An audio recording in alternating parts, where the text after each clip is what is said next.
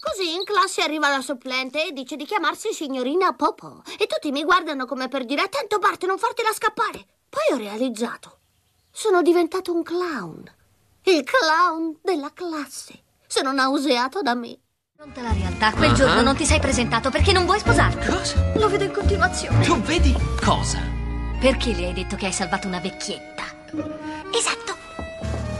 Credi di volerti sposare, ma non è vero. Sei solo angosciato e confuso e allunghi l'occhio su un bel peperoncino appena puoi. Mary, tu non hai... Quell'idiota con il furgone. Io lo ammazzo. Prima gli faccio causa e poi lo ammazzo. Che ore sono? Non è importante in questo momento. Lo so io quello che è importante. Oggi mi sposo. No, non ti sposi. Per quanto sono rimasta svenuta.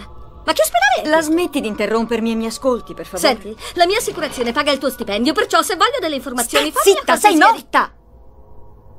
Ah, che... È uno scherzo di cattivo gusto? Guardati intorno. Sei tu! Sono io! serpente nello stivale. Sì, sei tu! Alla smetti di ripeterlo! Il cercatore lo diceva che saresti arrivato! Per lo zio di Abramo Lincoln, il cercatore! Vorrà conoscerti! Fare finalmente un discorso a una donna a cui il discorso calza a pennello. Cosa ne facciamo di questo momento che stiamo vivendo? In che cosa mi sono cacciata io?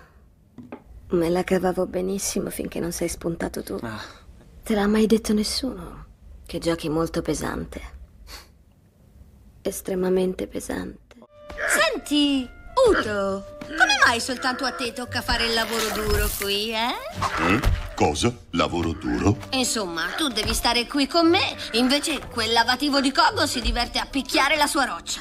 Insomma, non lo so, eh, ma non è tanto giusto, mi pare. No, non è tanto giusto. Mm, no, non è giusto proprio per niente. Io sono Gazelle. Benvenuti a Zootropolis. Io credo che dovresti riprenderlo. In fondo era di tua madre. Senti, non sono venuta qui per giocare o per sedurti. Ho dipinto dei quadri e voglio un tuo giudizio da professionista. Mi serve un parere sincero e spassionato sul mio lavoro. Tu sei la ragazza dell'auditorium. Sì, infatti, ma non c'entra più niente adesso. Voglio soltanto una tua opinione.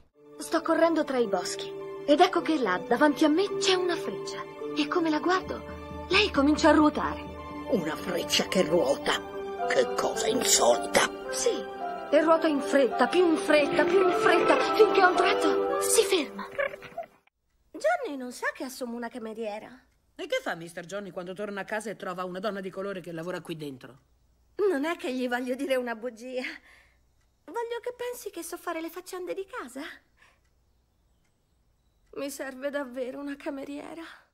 Tua madre è convinta che io non ti ami e che tutto quello che mi interessa siano i soldi e che per averli io abbia usato te e la tua famiglia, ma non è assolutamente vero.